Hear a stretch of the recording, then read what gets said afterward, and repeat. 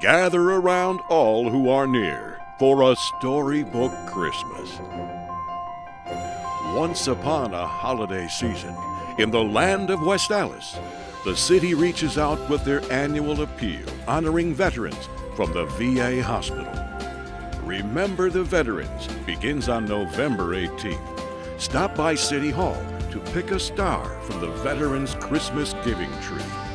Purchase the gift and then return the unwrapped present to the mayor's office by Wednesday, December 18th.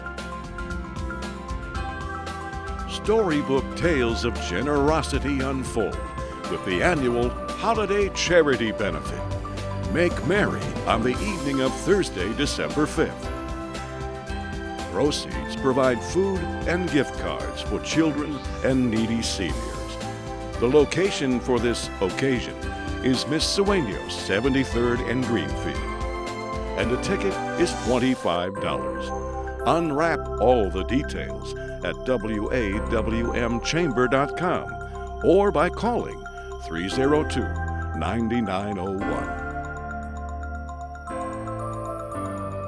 Be one of Santa's helpers and bring your list to Christmas on the Avenue a flurry of family fun awaits on Saturday, December 7th from 1:30 to 3:30 p.m.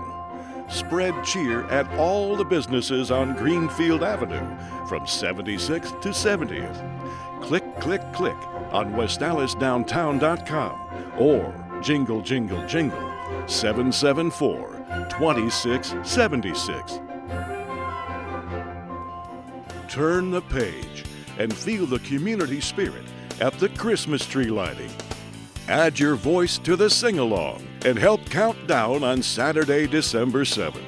This jolly program will brighten Centennial Square beginning at 4 p.m.